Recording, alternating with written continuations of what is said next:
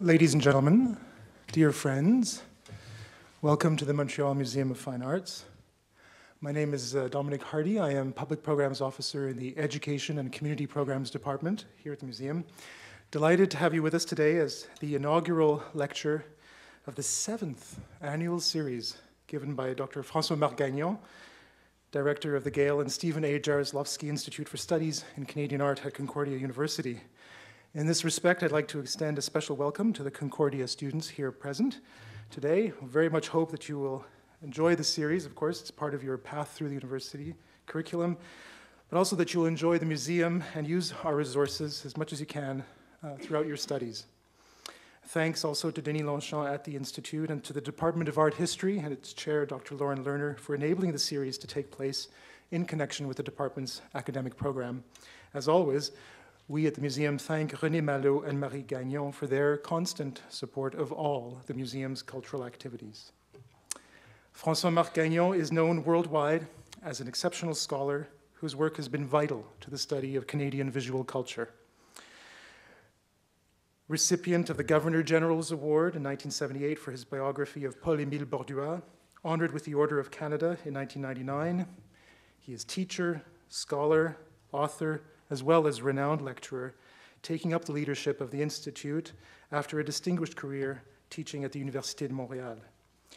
His writings are legion, covering subjects that range from the imagery of the time of Jacques Cartier to contemporary art in Quebec, and they have pride of place in the historiography of Canadian and Quebec art. He is a member of many museum committees, including our own, and is sought, is sought after as an expert by numerous artistic and academic bodies. And it's opportune to note today, as the meetings of ACFAS, the Association Francophone pour le Savoir, are taking place this week in Quebec City in honor of its 400th anniversary, that Dr. Gagnon was last fall's recipient of the ACFAS's André Laurendeau Prize, named for another outstanding humanist who has influenced the evolution of the society towards greater understanding of its many faceted cultural identities. Ladies and gentlemen, please welcome our friend, Francois Marc Gagnon.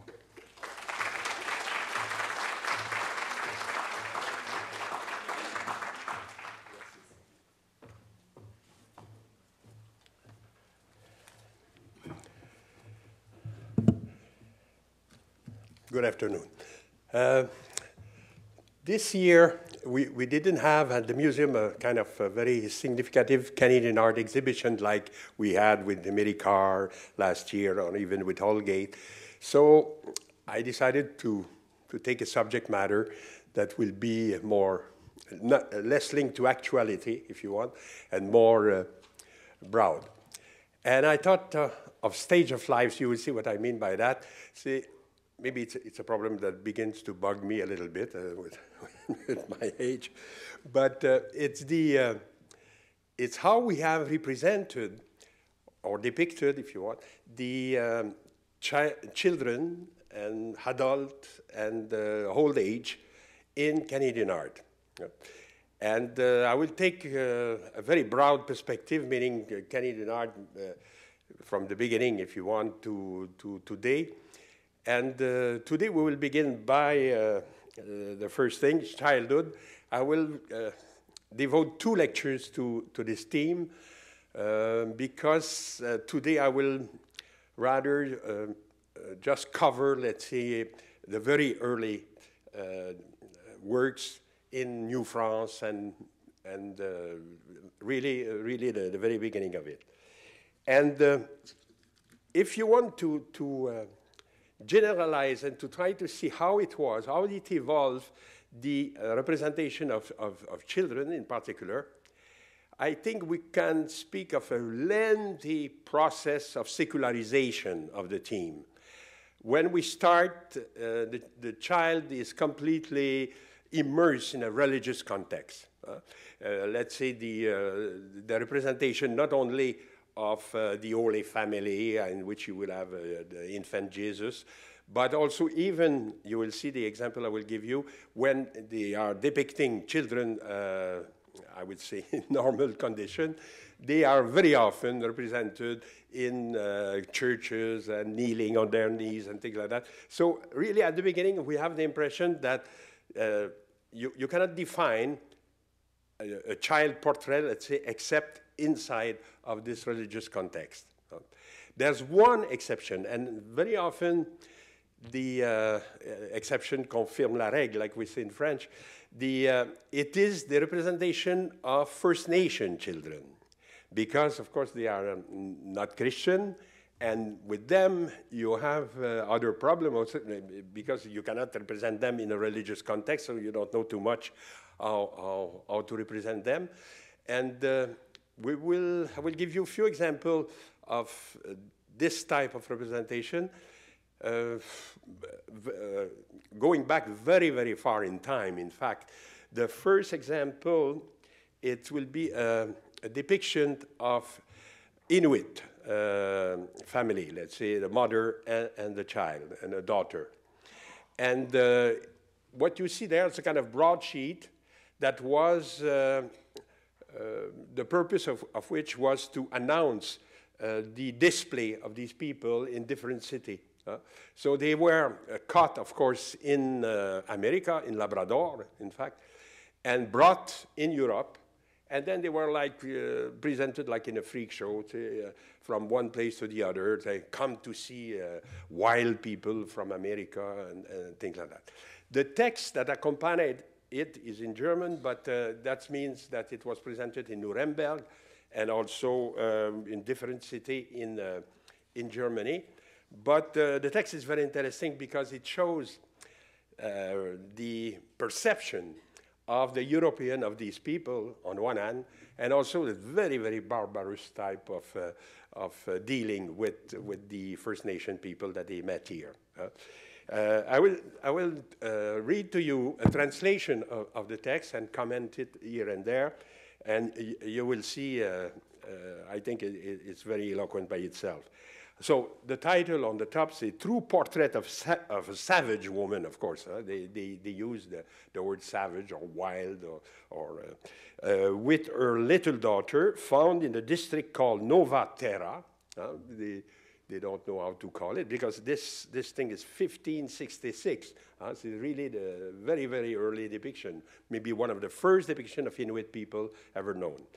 And uh, terra, uh, Nova Terra, meaning uh, what we will call today Labrador, and brought to Antwerp, uh, so brought in Europe, and recently publicly seen there and still to be seen.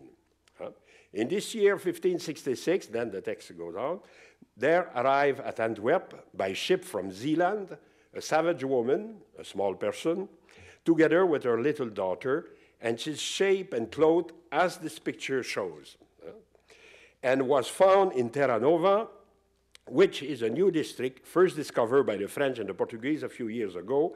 And this woman, with her husband and little child, were met by the French, who had voyaged to this district and come ashore and sought wonderful thing. And the husband was shot through his body with an arrow. Already, uh, you, see the, the, context in which this first encounter was done was not friendly. Uh, it was really uh, a kind of fi a fight between, uh, between French and, and uh, these people.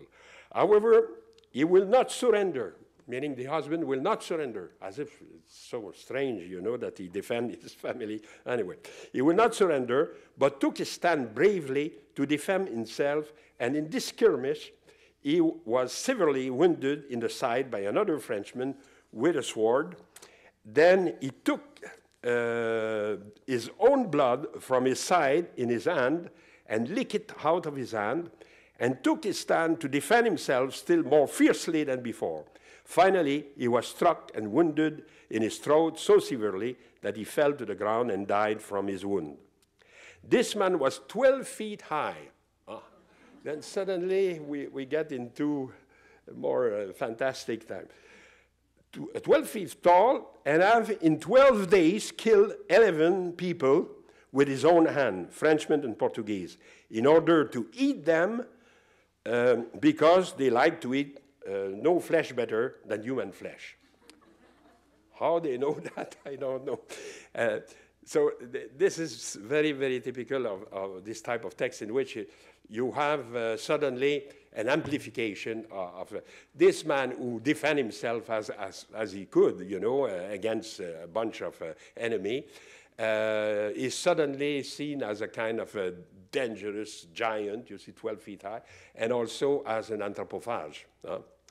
And uh, this this idea that the others is a cannibal, it's always the other.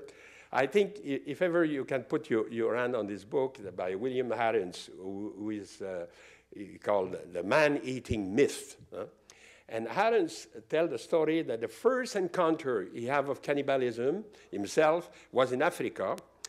And uh, the, uh, the people he met there accused the European to be the cannibal. Huh? He says, uh, our dear friend, uh, uh, let's say John, went to Europe and we never hear from him since. So you probably have eaten him. Huh? And, and he says, okay, it's, it's always the same, same uh, type of approach. It is the other who is cannibalistic. And there, of course, they have no idea of what they are speaking because they, they didn't know the language. They, they were there just to, to fight on, on, the, on the beach there and to try to take this woman with them. And, and, uh, and uh, so how can they even suspect that? Eh? Then I, I, continue the text. And as they seized the woman, she took her stand as if she were completely raving and mad because of her child, whom she will have to leave behind when the sailors took her away to the ship, as though she would rather lose her life than leave her child behind. What is so strange in her behavior? You know, if, if it was European who were attacked the, the same way, will not uh, the mother will do exactly like this one? Huh? And, but no, since they are savage people and, uh, and wild, they, they must be uh, mad, you know, to, to defend themselves. Then he continued. Because she was so mad, they let her alone a bit. She went to the spot where she had concealed her child. Then she was calmer than before. Then they took the woman with her child and brought her away and none of the Frenchmen could understand a single word of hers or speaks with her at all. very often also, they brought on these ships with them, and it's true all, already with Christopher Columbus, people who spoke Arabic. Why? Because you are in Asia. Uh, when you come to America in 1566, you are discovering the uh, outmost uh, of Asia. And then normally, uh, the language you associate with Asia is Arabic. Uh, and they, for instance, uh, uh, Christophe, Christopher Columbus says, uh, I get dressed beautifully and all that, and because I want to meet the, the Grand Khan. Huh? And uh, he, he, was a little bit surprised because he says we, the only thing we saw it was naked people uh, running here and there. He says, where is the, the, the pagoda? Where is the, the temple or the, or the, uh, the, the retinue of this great king and all that? But he had with him two, two guys. One, one was speaking Hebrew and the other was speaking Arabic. And so they try to shalom, uh, doesn't work. Salam, it doesn't work either. And, and here also it's the same thing. It says it's a language so strange that we, we cannot even understand it. Huh? Nevertheless, they know that they eat uh, people. Huh? But she was taught enough in eight months that it was known that she had eaten many men. You see? Alors, this is a, a, way to get your information. You see, you, you teach the language, and then you, you get them to say whatever, whatever you want. Huh? Her clothing is made of sealskin in the manner shown by this picture. The paint marks, uh, watch that, it's incredible. The paint marks she has on her face are entirely blue. Uh, it means the tattoo uh, that she has on her face are entirely blue, like sky blue. And these the husband makes on his wife when he takes her for his wife, so that he can recognize her by them, for otherwise they run among one another like beasts. That's it's incredible. Again, this idea that you recognize your wife just by her tattoo, you know, because they don't, they, they all look alike. Eh? So you, you need a distinctive sign. Uh? And it's, it's one of the rare justification of tattooing that I find in history, that uh, it's to recognize your wife. and the marks cannot be taken off again with any substance. These marks are made with the juice of a plant which grow in the country. Her body is yellow-brown like the half Moors. The woman uh, was 20 years old when she was captured in the year of uh, 66 in August, the child seven years. And then the finale, you know, the, the last paragraph, you will see uh, uh how yeah, yeah, this man, the, the, guy who writes that, have no problem with, with guilt.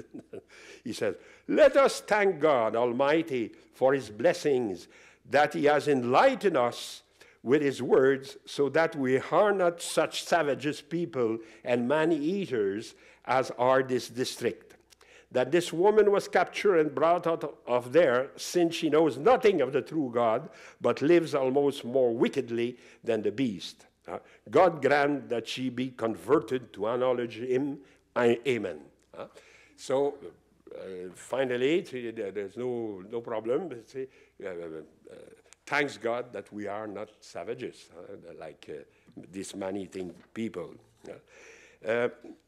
I thought, I thought this is uh, uh, very typical of uh, the, these first encounter. Instead of being, say, friendly or a little bit prudent, that right away you are in a context of, of fights and also the what was the purpose to bring this woman uh, in Europe except to show her like a curiosity, you see, like so, something that was very unusual, and try to make money with that. There, there's a, another uh, example of that by um, a drawing done by John White. Huh? So this is linked rather to the Frobisher uh, expedition. It's a little bit later in time, 1577. And uh, it represents an Inuit woman and with her child. I think you see it in, the, in, her, in her hood uh, in the back. A little baby. We, we see his hand and we see his little face. Huh? And uh, John White possibly have made the trip with, with them, with Frobisher, and uh, because uh, Frobisher made two uh, principal trips in, in Canada, let's say in, in, the, in the north. And uh, one was uh, where they lost some people, and they were told also that um, there is some gold mine there that it could be fantastic too. So he came back for two reasons to, to uh, try to, to find the people that he lost uh, on the first expedition, and also to bring back this uh, famous uh, full gold, in fact. Uh, it's pyrite the, the, the, that looks uh, like gold, but it's, uh, it's nothing. And it's possible that John White was on this expedition, but it's also possible that he saw this woman on her way back in Bristol, for instance, or in England, any place where, where the ex expedition finished. And one little detail was strange. It is that you see her uh, navel. Uh, and normally with, um, with this type of suit in um, seal skin, you, you cannot see that. Huh? So we suspect that he probably painted her naked and then add the costume uh, separately and then had it to, uh, to the picture. Uh, the costume, mind, you, is, seems very genuine. Uh, what we know of uh, the, the way they, they were dressed. It seems uh, very, very close to, to what is really possible. And, and for instance, I have a, a more recent uh, witness of that with, this expedition of Stefansson, uh, like in, in, the beginning of this century, of, of the 20th century. Inuit woman and child, and you see it's exactly the same type of uh, presentation, as if also the, uh, the style uh, have not changed much in their costume, in their way to, to, to behave. Huh? Okay, so that's a first example of, I said, of non-religious uh, picture of children, uh, because it deals with the First Nation. So, second example I want to give you again of this uh, representation of native people it is uh, now not of Inuit, but uh, of uh, Amerindian, like, uh, like what we see here, is a map by Samuel de Champlain. We speak a lot of Champlain uh, this year because of the, the foundation of Quebec City. And uh, this is one of his principal map of 1612. It's very beautiful, uh, illustrated and all that. And you recognize maybe on the right the uh, St. Lawrence, the Gulf of St. Lawrence, and the, the island of, of Newfoundland. Maybe places where we, we don't expect it. And then it finished with, with a sea uh, in which uh, we probably are in India. Champlain has this marvelous idea. He says, if we could have uh, a, a, post in Quebec City where we will stop all the, the, the boats who are going to China. Huh? and we will tax them on the way. It's it's it's a, it's a very good idea. But so that's why I think the, the, the Great Lake there is like uh, left open a little bit. Okay, the, the, the section I want to attract your attention on is this one, uh, who was, uh, you noticed, on the left side of the map. It's a representation of uh, four Amérindians, figure de Montagnais and figure de Sauvage Almouchiquois. the Montagnais, we, we still uh, call, we call them to the Innu, but, but it's still a, a, name that we use. Almouchiquois, no. Uh, the, these were people living on the coast of the Atlantic coast and were much more, uh, let's say, um, advanced in terms of culture. See, that's why he showed uh, the woman holding plants and probably a squash in one hand, and the other thing looks like a tulip, I don't know what, it's, uh, it's maize, uh, it's corn. And uh, because these are the two principal food that they were using. And the man have, uh, if you isolate the head, he, could look like uh, Henry IV or something like that. They, that means they don't have the concept of racial uh, representation at the time. Minute, they, they had another system which not much better, in which you, you put in a hierarchy uh, all the people. Uh, you put the king or the pope at the top, and then the noble, the, uh, the noble, and then the bourgeois, and then the poor, and then the savage, uh, and then the animal. Uh, they, they, are really at the limit between the two, uh, the two sections. And the, the representation of the Montagnais woman uh, with uh, these people are more nomadic, so that's why she have a, oar in her hand, and probably a representation of a miniature representation of a canoe behind her. And uh, she's presented there with a child. Uh, and to my surprise, I saw it here, and then we saw it in another book of Champlain, except that in the second book, she's a Huron, as if Montagnais, Huron, all the same. There's no, no, not too much to. So they use the same type of uh, picture. That's that's why, of course, it's the the picture is reverse. Huh? When you have an engraving, you you copy what you see, but when you print it, of course, it's reversed.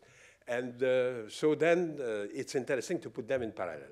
Because if you look at the left uh, figure, the one who was on the map, it's hard to understand how this child could not slip away uh, where he is and fall on the ground uh, because the, the woman hold him just like that, unless you have a very good grip uh, on the breast. But uh, anyway, it, seems uh, almost impossible uh, to, to show that.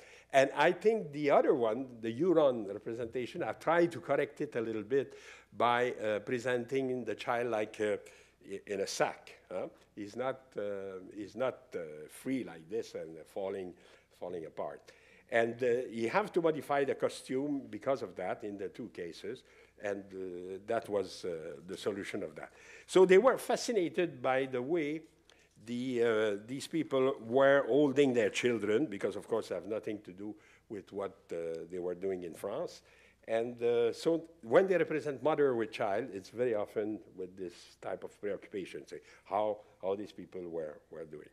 And uh, in fact, what we have um, uh, tried to reconstruct here, uh, this is Marc Laberge, a guy who, who created um, a company of illustration, it's called the vid Vidanthrope, Videoanthrope. And uh, he is very often consulted also by a filmmaker who wants to show uh, Indians in the past and things like that. So, so he says, in fact, what, what was the costume that he tried to express in Champlain? It was probably closer to the, to the one I show you here. And he quotes a Jesuit who described more uh, this type of costume in, in a more uh, interesting way. He says, in France, men and women have their clothes made rather tight fitting in order to impart a lighter appearance, the girls especially priding themselves on their slenderness. In Canada, everyone dressed so as to look large, both men and women wearing robes which they gird in two places, below the navel and above the stomach, tucking up their ample robes and letting the fold hang down. Thus, they have a great sack, as it were, around the body, in which they store away a thousand things. Here, mothers put their children to fondle them and keep them warm. So that's probably, uh, see, there's a difference between what Champlain saw uh, and his engraver, of course, who is a Frenchman who, who never been in Canada, understood of what he described, and how it was reinterpreted also by, the, by maybe a Champlain drawing and by the engraver. Uh, you see, that we are like at three level from uh, the reality that, that was there. There's another type of presentation of children uh, in, still in this uh, uh, First Nation uh, team, if you want. It is the, the famous papoose. Huh?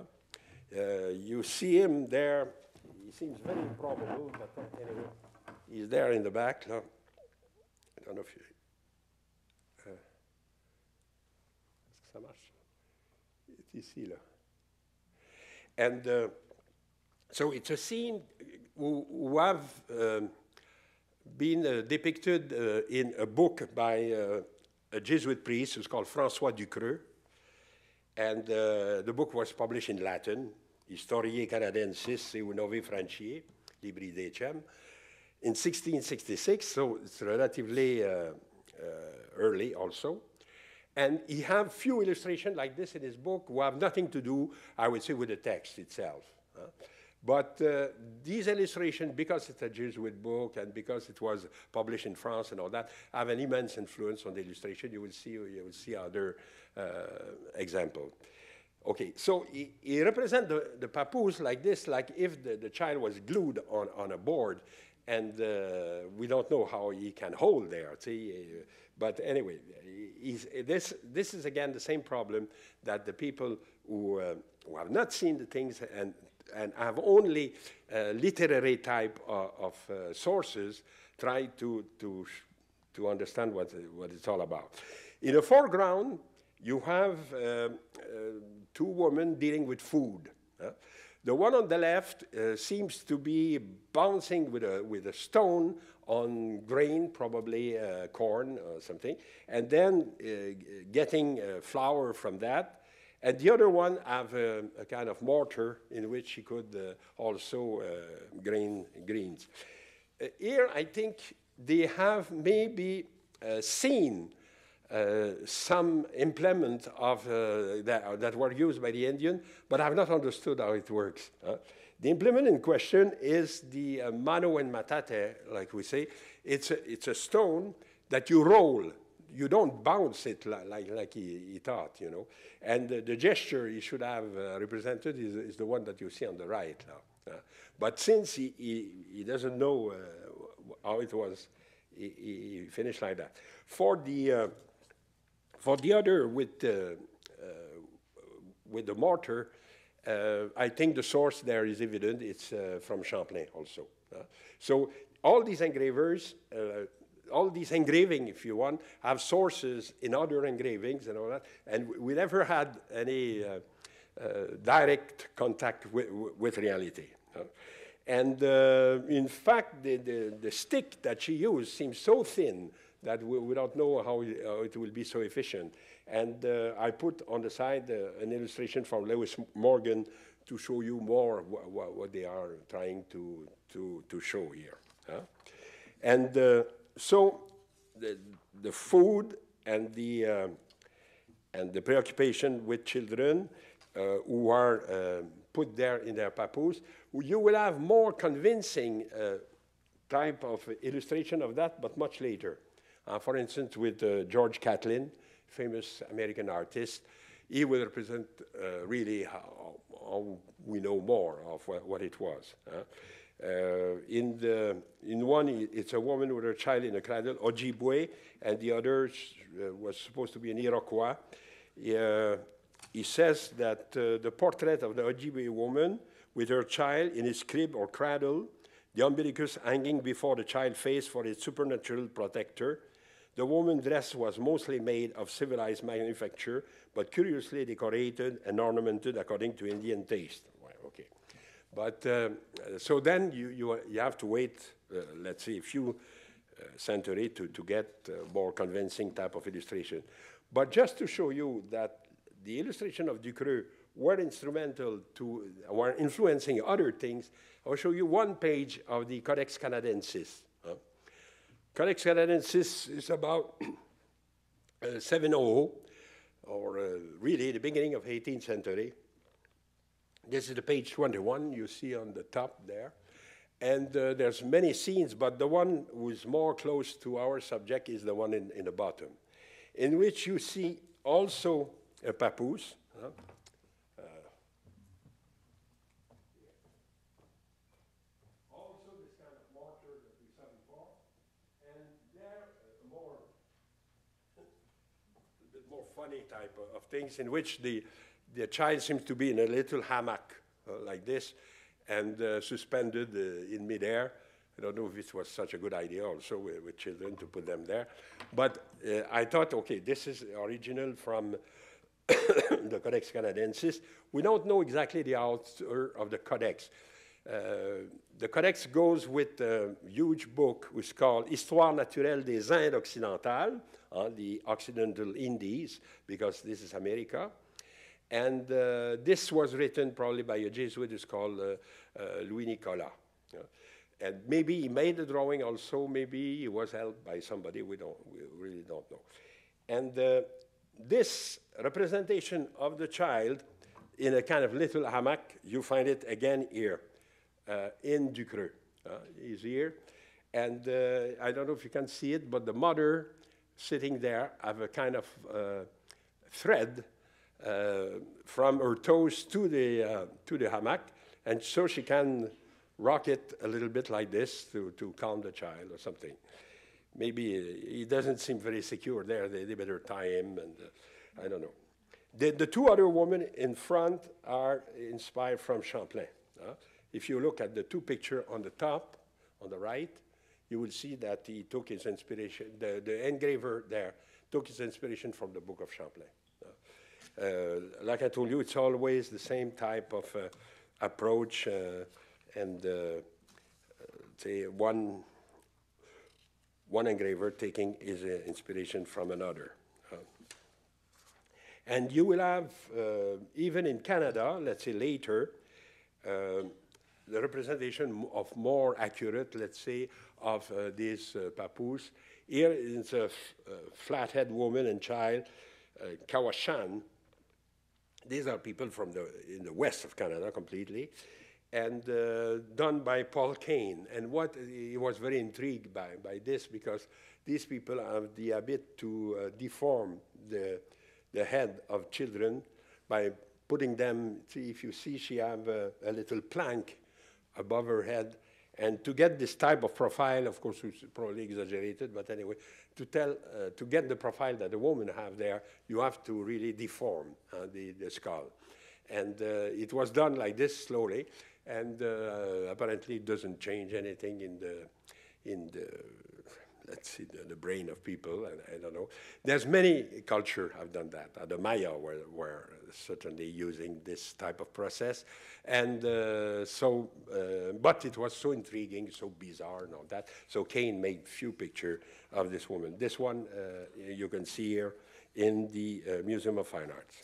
Uh, then. An, an, example will make a transition to, to what I will say after. It is a map, again, of Father Bressani, Giuseppe Bressani is an Italian Jesuit who came to Canada. And uh, he made uh, a map like, like they used to do with little vignette here and there. But on the top, if you look uh, on the top and on the left, you have then representation of Christian Indian or converted Indian. Huh?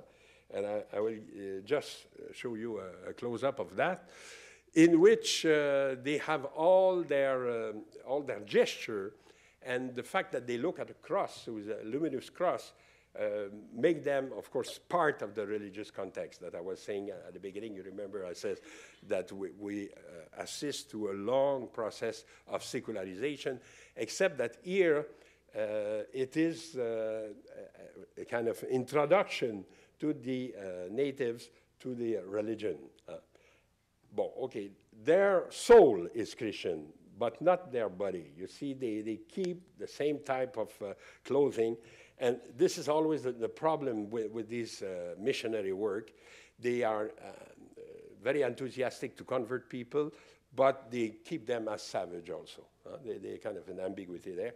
And here, in this case, the detail of costume are very, very, uh, very well painted. For instance, that she have a kind of plates on, on her uh, back the, the woman there. Uh, this have been described by many people at the time, see like, like one of the ornaments that they were doing. And the man on the right have a tobacco pouch on his back also. And this, this is uh, very, very well, uh, uh well depicted and well seen, if you want. Huh? And uh, so the, uh, so this is, I says it's kind of transition because now we will go uh, toward the um, white children. The first thing, of course, when you speak of white children, it is the, um, I, was, I said before, this kind of uh, insistence on religious context. Uh, and uh, Father uh, or Monsignor Francois de Montmorency Laval have created a kind of devotion, if you want, who's called To the Holy Family and the Holy Angels. And uh, in the, uh, the text that present uh, the aim or the objective of this society, if you want, he, he, he tells the, the reason why he did that. He says, the aim and objective of this devotion is to give honor to the Holy Family and to the Holy Angels. The Holy Family being the model par excellence for all Christian families. This is a little bit strange. Huh? The, Virgin was uh, Immaculate Conception, and uh, Saint Joseph was just, just a père nourricier, like we used to say.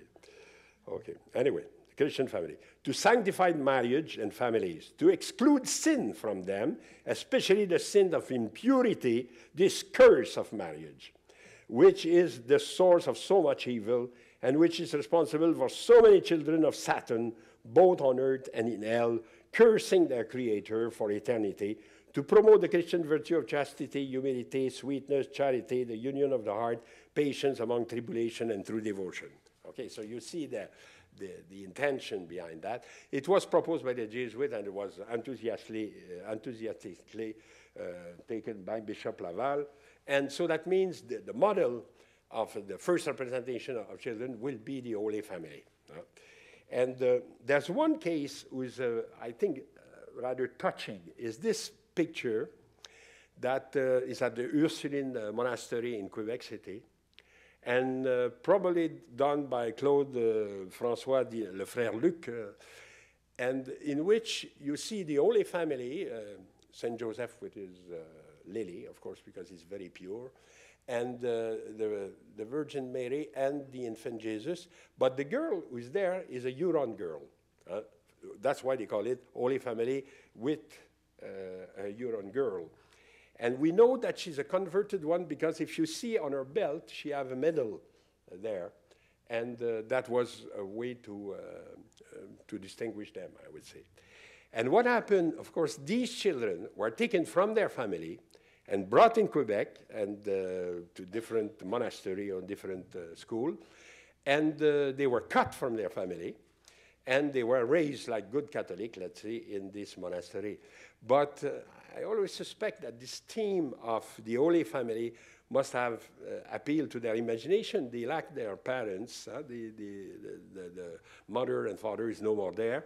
And, the, uh, and probably in their imagination, that was a kind of replacement. It's a little bit cruel to think that only an image could replace the real parents, but uh, more or less, I think that's what is, uh, is uh, expressed here. So, so you see the, you see right away the, uh, the theme of the Holy Family uh, is a way to depict children. The other theme, it is the, uh,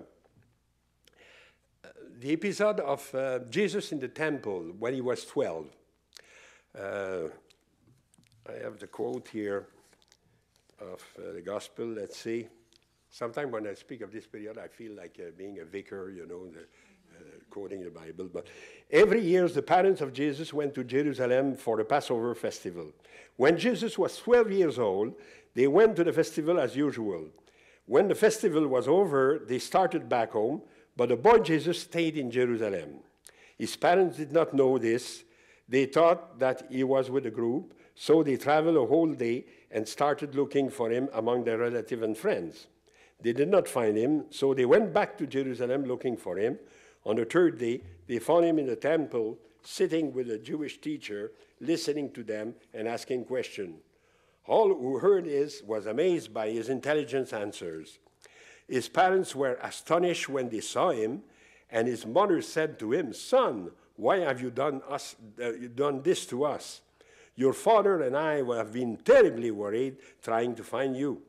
He answered them, why did you have to look for me? Didn't you know that I had to be in my father's house?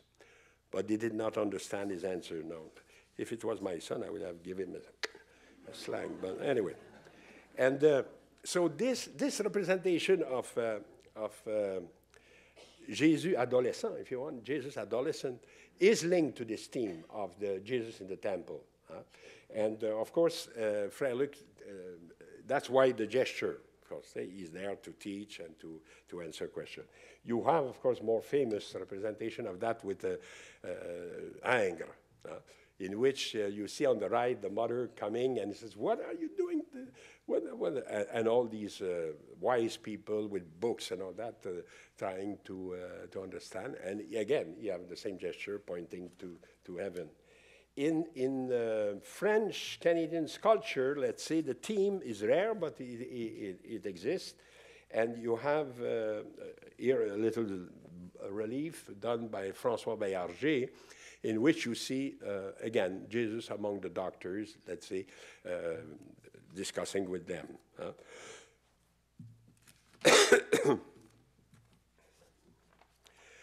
Third theme, the angel.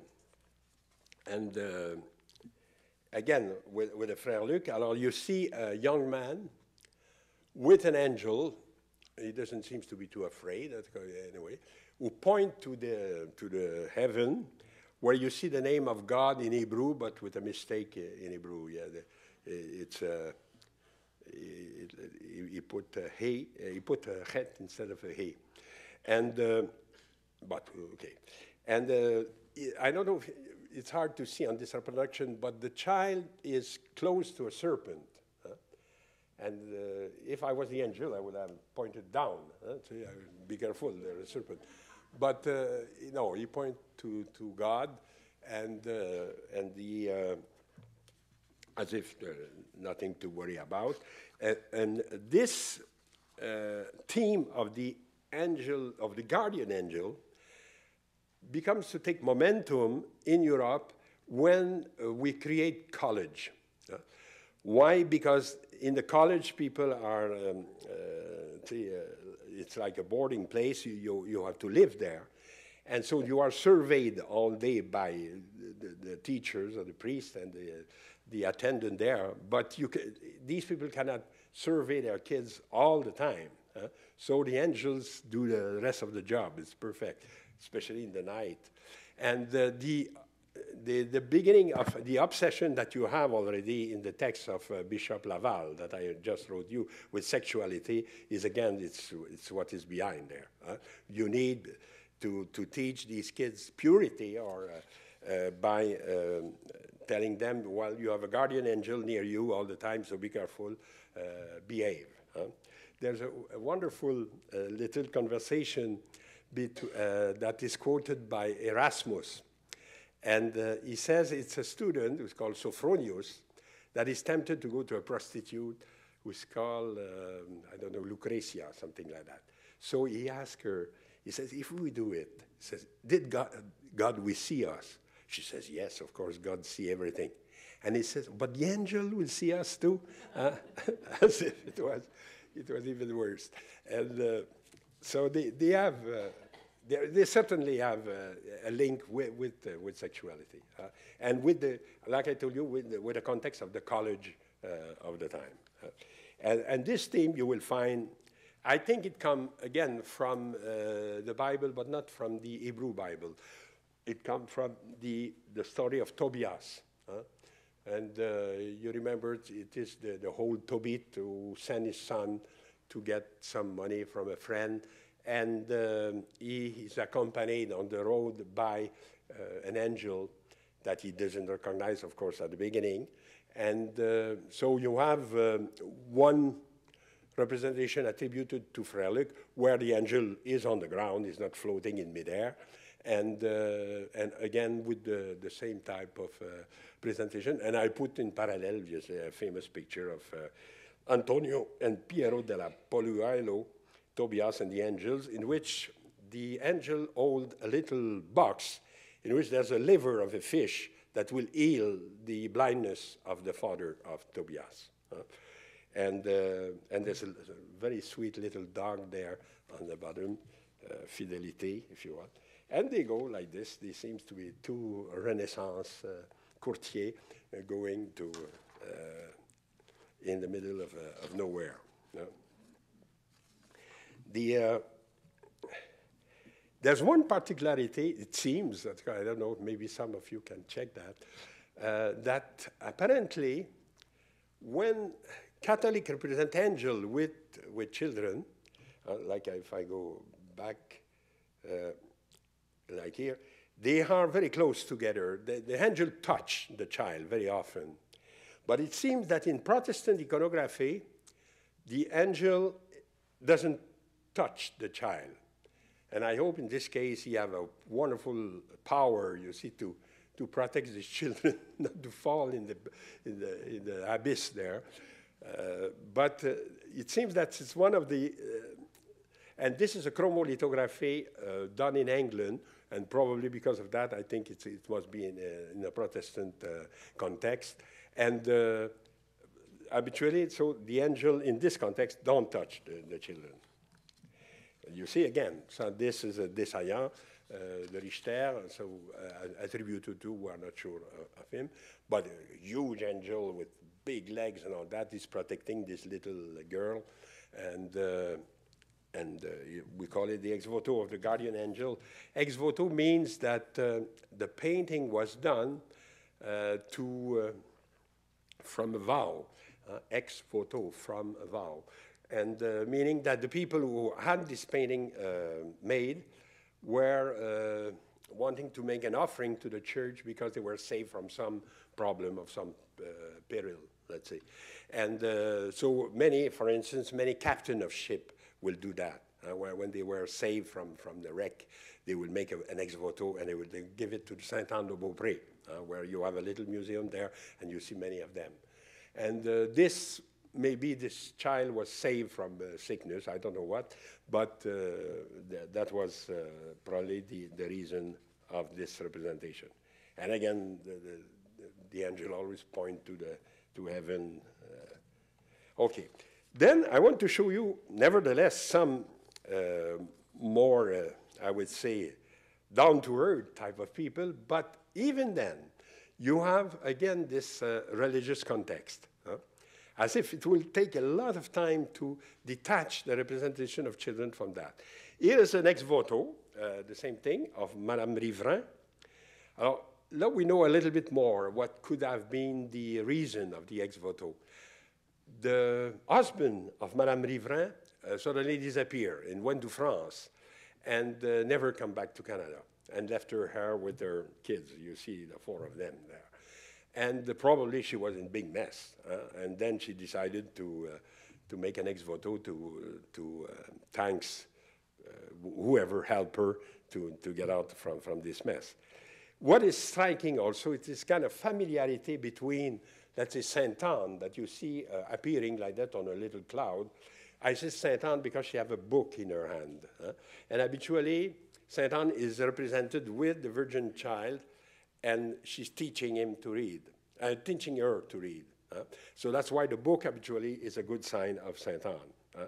So Madame Riverin is there with her four children, uh, trying to uh, to get some favor from, uh, from Saint Anne, who is uh, part of, uh, of the surrounding there without any problem. Just the, the, clouds open, she descend and uh, she listen to them. We, uh, pas de problème, and then uh, go back to, to, to heaven.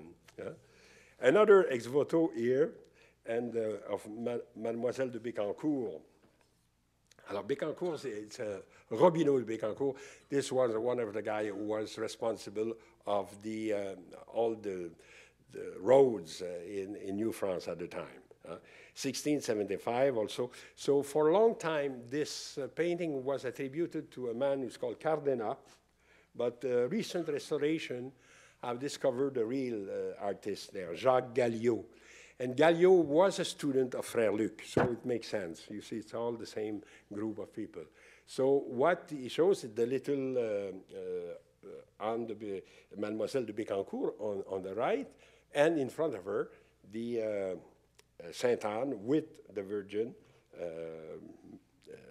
uh, she, she prayed to them. If an ex voto, again, it, she was probably saved from some problem, or maybe just a kind of recommendation habitually the bourgeoisie was not too keen to show in the ex voto the problem from which they were saved. Uh, they just showed themselves, and they didn't want to uh, expose their uh, feebles, let's say their limits. Uh. and so when you have a bourgeois type of, of representation like this, habitually, uh, we don't know exactly what happened. When it's captain of ship, of course, they show the ship uh, almost sunk and things. they show you the, what happened. Uh, and this particular painting, I've suddenly, uh, uh, we, we, we not me, but Robert Derome find that, a colleague from the UQAM, and I found, strangely, an influence if you compare the, the Virgin in the uh, ex voto with this painting, you will see it's exactly the same. Uh, he copied that from to make here the presentation of the Virgin to the temple. Uh, and uh, now, of course, the, the man who is presenting her is, is uh, Saint, Saint Joachim. But uh, let's see, again, it's a good example of uh, uh, the borrowing of one picture for, for doing another one. So you see, so what I meant at the beginning when I says the, the religious context is almost the only way to get pictures of uh, children at this early stage. Uh, what I want to do next time it is to show you how we get, got rid of that slowly uh, and uh, to show you 19th century picture and also more modern one in which you will say finally the, the child will be, uh, uh, we will not need this justification of, of, religion you see to be depicted. It could be then presented as such. Okay, you are very patient with me. I have a little bit of grip. Maybe you, you have uh, uh, noticed it. I'm sorry, but I will, I will be much better next time. Okay, thank you.